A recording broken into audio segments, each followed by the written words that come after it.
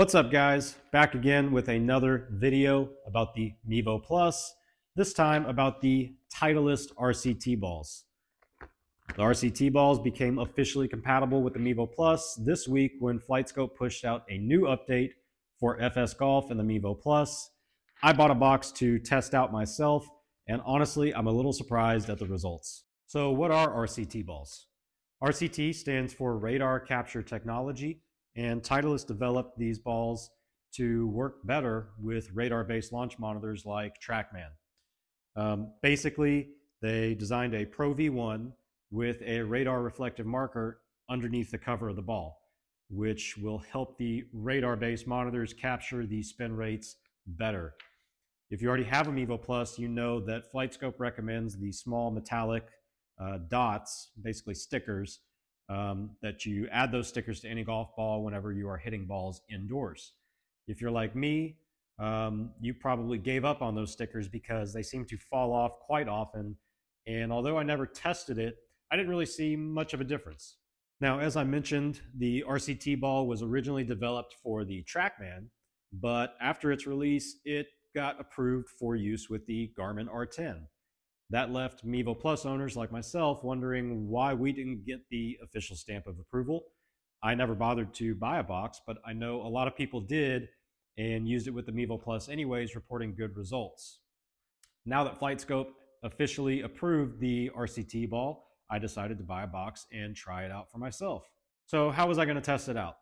As I mentioned, I normally just hit regular golf balls with no stickers, and uh, it works pretty well for me but I wanted to test the RCT ball against a Pro V1 with a metallic dot, and then also against a regular Pro V1 with nothing at all. Um, I also wanted to test against uh, a very high spin rate uh, club, like a pitching wedge, and a very low spin rate club, like my driver. So I ended up taking 10 swings with a pitching wedge for each ball, and then five swings for each ball with a driver. Let's see how it worked out.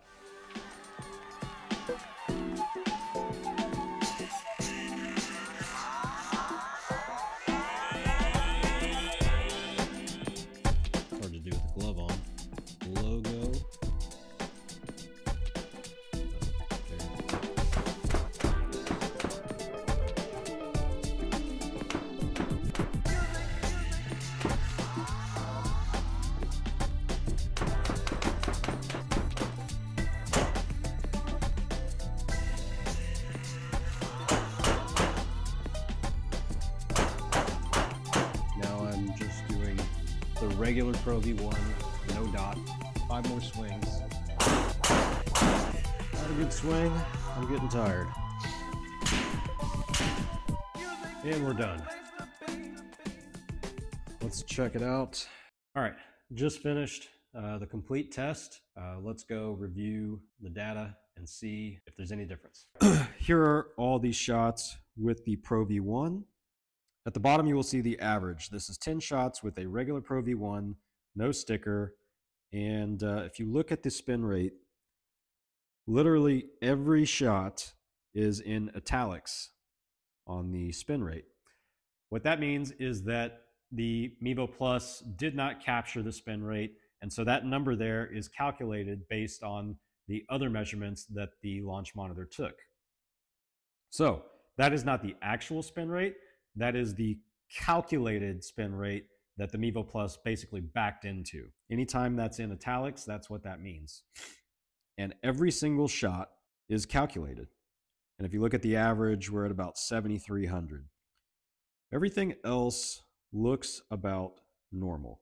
Um, if we go into the uh, ball, this is the Pro V1 with a dot.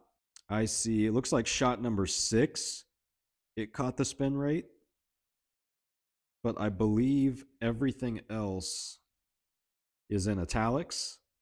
So one out of 10, it actually measured the spin rate.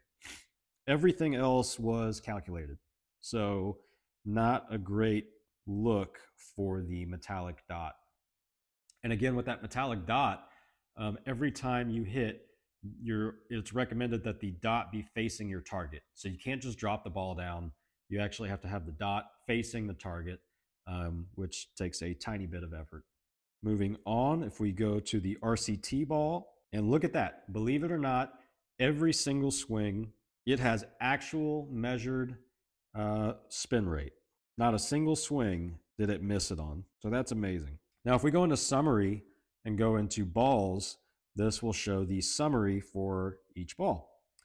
Um, and you can see very clearly that the carry distance for all of them are very close, um, just about 130 yards on average. Uh, club speed, ball speed, pretty close. Um, launch angle, and even the spin, pretty close, right at about that 7,300 RPM. It looks like on the Pro V1 without the dot, that had it at the highest, um, but the ball, the RCT ball, was not necessarily the lowest. So right in there, pretty dang close.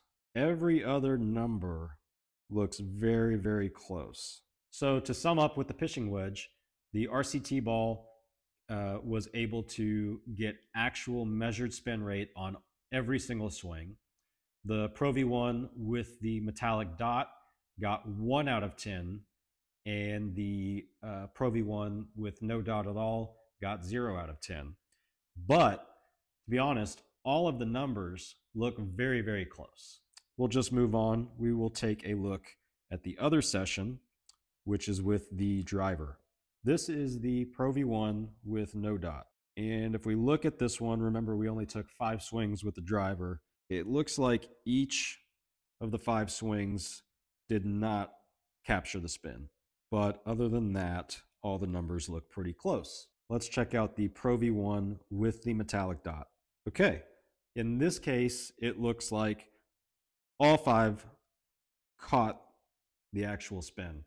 Um, no italics here on the Pro V1 with the dot. And if I had to guess, it's just because that is a much slower spin rate. It was able to catch it, uh, although the ball speed is much higher. So I guess it didn't have a problem with that. But uh, interesting. Okay, moving on to the RCT ball. So the RCT ball, you guessed it, uh, every single swing got calculated spin on average 3100. Everything else very close to each other. Okay, if we go to the summary, still again pretty close. 2800, 2700 looks very similar with the RCT and the spin is 3100. You can see it actually it was a little bit higher um, on the spin at 3100 compared to 2700 and 2800. Okay, so what does that tell me? Basically, that tells me that the RCT definitely has a much higher success rate of capturing the true spin with the Mevos Plus. However, looking at all of the numbers and comparing against everything, the numbers are pretty close that also tells me that the Mevo Plus does a really good job of calculating that spin when it doesn't read it. So, do you need the RCT ball? I don't think I need it. But if you want the best chance at getting the most accurate numbers, I think it definitely does make a difference. Again, this is my little test with my setup. You may get different results. In fact, you probably will get different results. I've got eight feet from the Mevo Plus to the ball on the mat, and then I've got about 10 feet to the screen. Uh, if you have less distance to the screen, it may be even more important for you to get accurate spin. Um, so maybe that's something to consider. Anyway, guys, if you enjoyed this video, please hit the like button and subscribe. It will help me out a ton. Also, if you have any questions about any of the gear in my setup, I put links in the description down below um, so you can see what I'm using. And uh, that's it. We'll see you next time.